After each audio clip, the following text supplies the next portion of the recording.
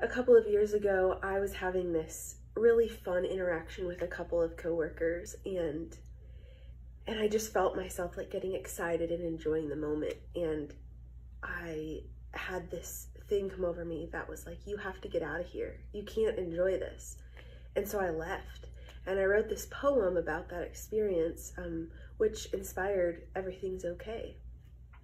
Eric and I wrote this song together a couple of years ago and um, we really just wanted to get at the the feeling of, of things being really good and and feeling ashamed and like we don't deserve it um, in our attempts to get out of the good thing. Um, it's a bit more dark and uh, gritty and pulsing than than some of my other songs, um, but I'm really proud of it. And Lori Lori made it into something incredible. Everything's Okay is the first song uh, out of four songs that are a part of an EP called Close to Home. And it, it really digs into the longing that we have to belong somewhere. And so for this song, um, I've taken that as like, I can belong in um, a good place. I can I can stay. Thank you so much for listening to Everything's Okay and for sharing it with people that you think might enjoy it or relate to the message or enjoy the vibe of the song.